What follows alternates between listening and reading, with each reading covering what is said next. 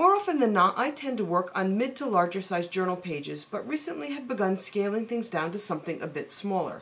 In today's video, I'm going to introduce you to our newest Joggles disc-bound watercolor journal, this one measuring just 3 inches by 4 inches. I'll demo three background techniques and show you how I use Jane Davenport's marvelous imagery along with graphics from our collage sheets and some stamped images. Working small isn't limiting in the ways you might imagine and offers the joy of being able to complete a page in a short period of time. I find it very satisfying to work small, probably because it's easy to complete a page or a few for that matter, in a really reasonable amount of time. There's nothing quite like the sense of accomplishment that you get when you finish something. So the pages of these journals are 3 inches by 4 inches. The discs measure half an inch in diameter, and when it's packaged as a journal, you'll get 20 pages and 4 discs. The extra pages are sold in packages of 10. I'm going to show you how to put these together, how to put a page in and take one out, and then we'll talk a little bit about the examples that you see here. So putting the pages in is really straightforward. Grasp a disc, disc, hold the pages opposite to that and just go ahead and press down. And you're going to do the same thing, oops, if I wasn't all fumbly fingered, you're going to do the same thing all the way down till you get all four in. Take your next page and you're going to work it opposite to what you did and you'll see that these practically stand up by themselves. So it's a matter of just grasping the disc, pushing down and letting it snap in place. Whoops, that one popped out, so let's go ahead and put it back in and then put the page in. So eventually you'll have however many pages you have, and maybe you want to take one out. When that happens, you should have the, the journal oriented like this, so all the pages are on one side. Go ahead and hold it down underneath, and then grasp the page that you want to remove up at the top, right by the disc, and pull up and back toward you. Well, Obviously that will stay in place because you're going to have more pages and they're holding it in place. But that's how simple it is to go ahead and take these pages out. In and out, the process is straightforward. It's just like what you saw me do. So when we talk about what's here, I've got three different background techniques. I've got watercolors that I'm going to show you first using the Cosmic Shimmer Iridescent watercolors. I have a background done with Marabu's art crayons on a gel press plate. And then this is one of my old favorites. It's one of the techniques that I lean toward or, or head toward a lot when I'm looking to get some really bright graphic color on a page. And I'll show you that one as well. Then we'll talk a little bit about the imagery. Now I've made heavy use of Jane Davenport's imagery from her um, collage papers, which are two-ply napkins that you take apart, a lot of her rub-ons, which is what you see here, plus I have, this is Dina Wakley's Scribbly Birds, and this is from our collage sheets. So let me slide this out of the way and bring in one of the sets of the iridescent watercolors. Now you can see that it's wet. I've already pre-moistened this so that it's ready to go. All I want to do is grab a watercolor brush. I have someplace here, I had a pot of water. I must have forgotten to walk back to my table with it, so I'm just going to put some water out here. I want my brush to be wet. The thinner you make these colors, so the less color there is, and let me see if I can find a good example, the more, the softer, more ethereal the look is going to be. So here's one here. Now this is actually a little bit darker. When you look here, you can see that the color is very, very light and kind of same thing here. But you can vary that. It depends on what you want to do. If you want brighter, then by all means go ahead and do that. So for me, it's about maintaining some white space too, which is something that it's taken me a long time to really remember to do. So I'm going to pick up one of these colors. Now these were pre-moistened, so they've been wet for a little while here. And all I want to do is just lightly put some color on. There isn't any rhyme or reason to what I'm doing here other than the fact that I want to get some color on there. So I'm just going to kind of rinse most of that color out. And then since this is kind of purpley, I think I'm going to come up here and pick up this lighter color thin it out with a little bit of water, and I'm going to do the same thing. I'm going to let them blend. I'm going to let the water do the work, though. I'm not going to spend a lot of time blending these because I don't want to over blend and give them a different look that is just kind of a mishmash of color that never really has any particular relationship to itself. I want to allow it to move like this. So you can see that's pretty straightforward, pretty easy. And if you want to go darker, you can certainly do that. So let me come in, and by the way to do that is to put more of the pigment on rather than thin it out the way that I did here, or to use one of the darker colors. So this is a darker color, and I'm just going to move some of it along here.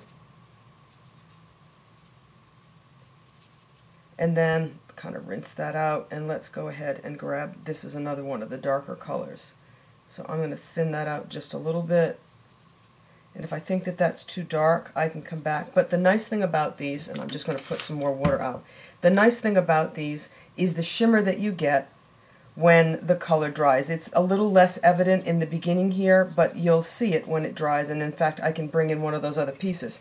So you can see very similar technique. Overall look in terms of the patterning on the paper is very similar, but if you use darker colors or more of the pigment as you add it, then you can get very, very different looks. So here are the two pages that I did a moment ago. The backgrounds, as you can see, are very different, but when I hold them up into the light, even though this one is lighter in color, you can still see the shimmer in there that you get from the Cosmic Shimmer Iridescent Watercolors. They really are a marvelous product. I don't want you to think that backgrounds are the only way that you can use them, though, in this little journal.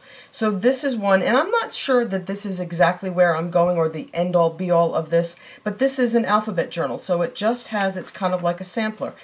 I started by just drawing the letters with watercolors and then I decided that they looked a little bit bland so I came back with a Pitt pen and I did that very loose outlining. Now the thing to know is that this is 26 pages, the journal ships with 20, but you can see that they really are rammed in on these half inch discs. If you want to do an alphabet journal like this, you'll need an extra package of, of 10 pages so that you'll have well, 30 to work from in case you make a boo-boo and you need to swap one out. But more importantly, we're going to have extra discs available that'll be three quarters of an inch in diameter that will comfortably hold the 26 pages, but they won't be oversized. I tried one inch discs on this and I just felt like they really dominated the journal too much. So those will be available. But coming back to this, let me turn this toward me. I actually do have my container of water now, and I'm working, this is a filbert brush. This is a number six filbert, so it's kind of like a flat brush, except that you can see that it comes, the tip comes to kind of a softly rounded point. I like this for lettering. I like the look that it gives me. You can use a round brush. You can use whatever you like to go ahead and create letters that you're satisfied with. This just happens to be what I'm playing with. So I'm going to go for mostly lightish colors. I'm going to grab some. Again, these are all soft because I've already pre-wet them.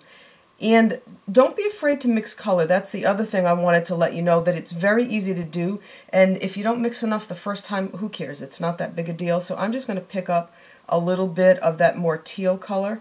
And if I think it needs it, I'm going to pick up some of this green. That was probably way too much, but that's all right. I'm almost back where I started. So what I'm going to do is just pick up some paint and you can see that it's pretty heavily loaded and you write these letters however your penmanship works. So I'm just going to come in and I'll start the A and then I'll do a lowercase a. Now you'll want to practice probably ahead of time so that you're satisfied with the way that your lettering works. And then from here it's just a matter of once this dries, coming in. For mine, I used the extra superfine tip on a Pitt pen. I liked it because it gave me really thin kind of wispy sparse lines and that was really the effect that I was going for. But you can do this all the way through, as I said, A through Z. You can come back and you could put little notes on here, words that begin with the letter. You can do little sketches, whatever it is that that you want, but this size is really excellent for, for this type of a sampler.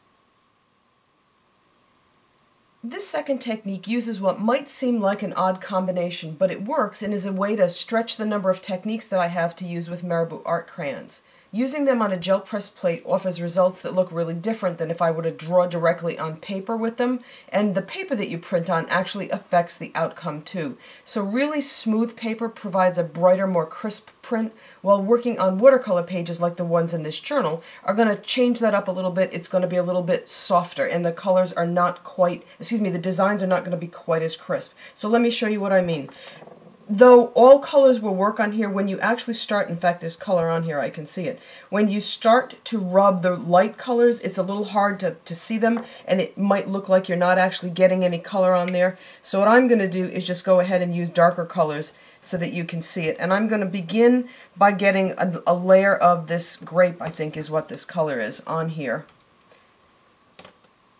Now I could add water to this, it changes things quite a bit and I don't want to really go there right now. I want you to be able to sort of get the technique at its most basic. Now you'll see that there's a little bit of rippling here. I think you can see that from where you are, but what's interesting is that these plates are so darned sensitive that that's actually going to print. So if I want to come along here and start to put some designs on the edges. And I can draw right over the color that's already there if I want.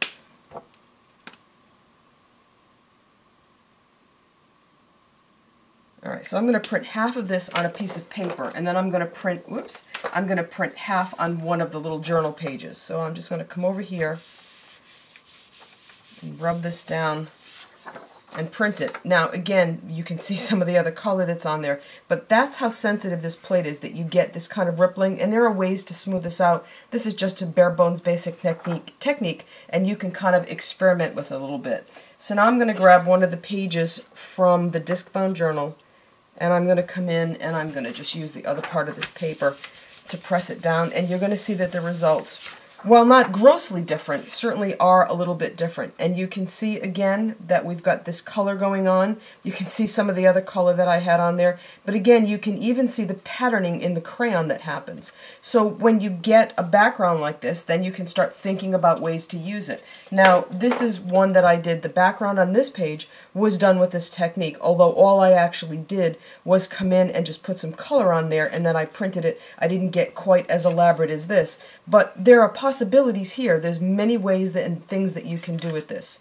So the last thing that I want to show you involves no more than your fingers and a palette knife for the basic technique. I'm going to start with a page, some of Dina Wakley's white gesso, and then I'm going to bring my fingers in. I'll show you a page that's already done. So when I do this, actually, it's easier to hold it up because these are kind of small. I don't want full coverage, and what I want to do is leave some of this rough so that it's patterned and it will create some automatic texture. Now obviously this needs to dry but you can kind of see what's on there. So let me just drop that out of the way and grab some paper towel and just clean my fingers off. I have some here that are already dry. Now I'm using, in January 2018, Ranger and Dina released, I want to say it was six new colors. So here are five of them and then the last one is this buff. Now this background gives you a very graphic, very different look than the one of the art crayons on the gel press plate, but it works too. And it's all about variety. And you'll notice that on this particular page and on the others, you can see that I haven't done a lot of other things to the backgrounds. These are small enough that I don't necessarily feel like I have to do too, too much, although you certainly can. It kind of depends on the look that you're going for. So once you have a page where the gesso is dry like this, and I'm just going to pick, so this is eggplant and peacock. I'm just going to pick these two colors and it takes very, very little to do this.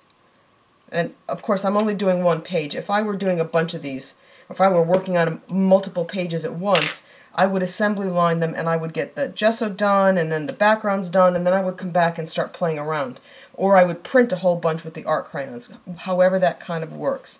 So as I put this on with my finger, a couple of things happen. The first one is, is where the gesso is not, the color is going to stick more quickly. On the gesso, I have the ability to slide the color around a little bit, but that pretty much changes once it hits the raw paper. Now again, I don't want to overblend this, I just want to kind of get some color on here.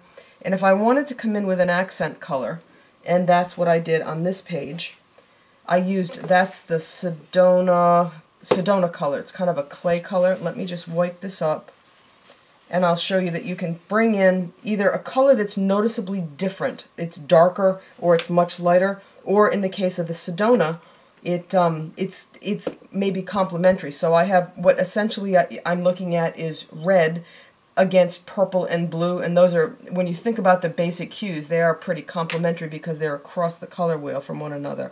So what I want to do, especially since this paint is still wet in spots, is I don't want to mix because I'm liable to get mud. So I'm just going to come in and just touch this in a few places to add a little bit of another color and that just kind of acts as a kicker and I think that that's plenty. I don't necessarily need to do any more than that. So those are the three background techniques. So we have this technique with Dina Wakley's paint and sort of the finger painting. We have the iridescent watercolors that create these very soft and dreamy backgrounds. And then if I could figure out what I did with it, it's we have this here where we get the very soft looking backgrounds when you use the art crayons on a gel press plate. So now that we have our background techniques covered, I'm going to come back and talk a little bit about how I compose the pages using Jane's rub-ons and washi tape and her marvelous collage papers. My usual process is backgrounds and then pages as a whole. Once I get the backgrounds done and dry is when I like to move on to additional layers or maybe working on the focal point of the page. Now the exception to that is going to be this page here. There are a bunch of layers underneath, though it, you I generally don't when I work small. You can and it can be quite effective. You just don't want to overwhelm the size of the page with too much.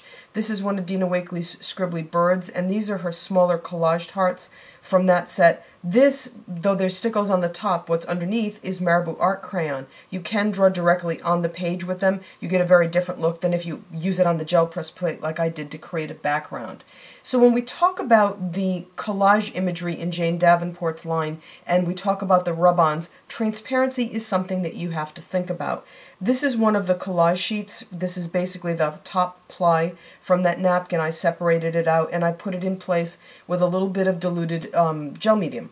So it, it very much is a factor, though it's not quite as visible here. When you see it here, you can see the background color because the white, anything that's white on those napkins, and let me bring some in, anything that's white on them will be basically transparent once you get through. And there are two different sets with a broad range of various kinds of imagery. It's all marvelous, lots of faces that you can work with.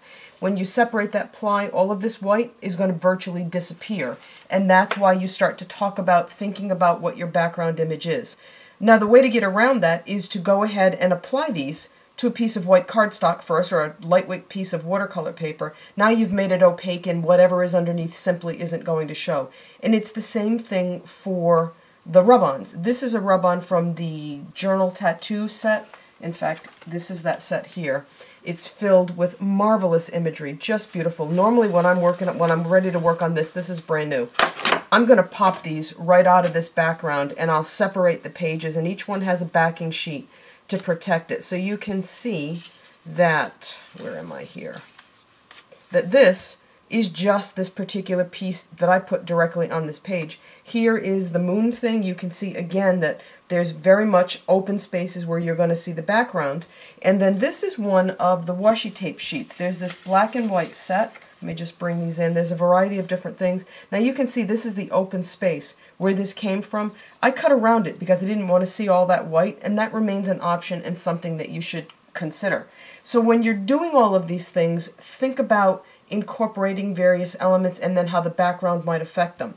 You can combine washi tape with rub-ons. In fact, these are rub-ons. These all came from the journal tattoo book. It's someplace. In fact, here is the Little Mermaid. But this here is an element from something else. The star is here, but I grabbed another one from another sheet. So you'll have little pieces left over that you can bring in and use in various ways. And I did the same thing here on the back side, if I could pick this up. Except that this time I ran the washi tape vertically. There's a little tiny bit of overlap here from the rub-on to the washi tape, but I don't think it's a problem at all. So when we talk about using these rub-ons, and this is going to be pretty much the last thing I show you, well, bar one quick thing. When we talk about using the rub-ons, think about, again, your transparency and how you can work around that. Now, for my purposes, I know that, and this is from the set that has two sheets, it's named neutrals. I know that I want to put this figure here.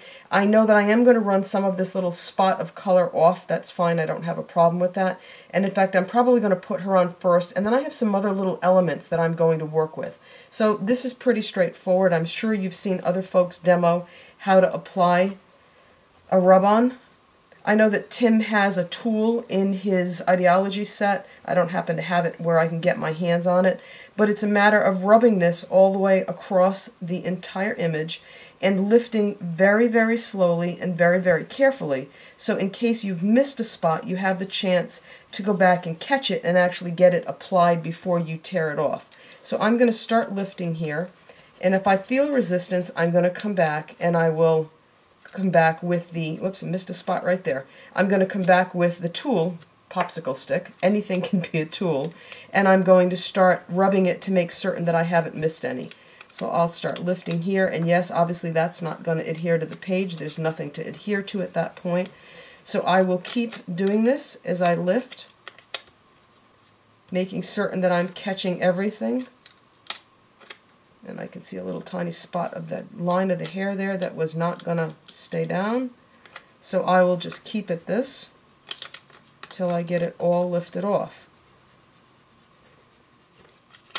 Now you'll be a little bit slower than me. Don't feel like you have to rush. I just don't want you, this is like watching paint dry. I don't want to make you bored as I get through this process. All right, so that's on and I'm very happy with that. Now what I want to do, and I'm going to cut these apart because if I don't, I have had the problem where I didn't cut it apart thinking it would be okay and then I had like a piece of this could end up sticking where I don't want it and I don't want that to happen. So I'm just going to take this piece, pull it out of here. Now this, I will tell you that the background on this page, the way that it turned out is completely coincidental. I didn't actually plan these colors, but they work, so I'm really happy with that. I like this right here, so I'm going to go ahead and put it down. Now the green that's underneath is absolutely affecting that kind of mustard yellow dot, but it's fine. I don't have a problem with that at all. And I know that I want to take one other piece, and I think I want to use this one right here. So again, I'm going to cut that out. Leave myself a little handle to hold it on. Let's get this out of the way. Slide that over there. And this one I think I'm going to put kind of like that right there. So I'm going to go ahead and rub it down. And I might bring in my tweezers. I think it's going to be easier to lift this up if I can catch that acetate with the tweezers. Missed a little tiny spot, so I'll take care of that.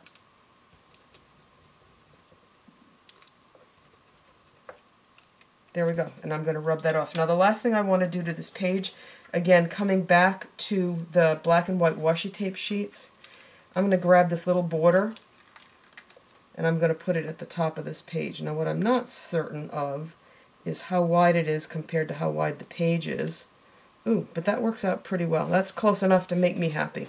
I'm good to go there. So this page is done. Now the last thing that I do want to show you quickly is when you work with the napkins, and I've already separated these, so you can see how sheer this is. I've already separated this from the other ply. This is the page that I put the Cosmic Shimmer Iridescent watercolors on earlier.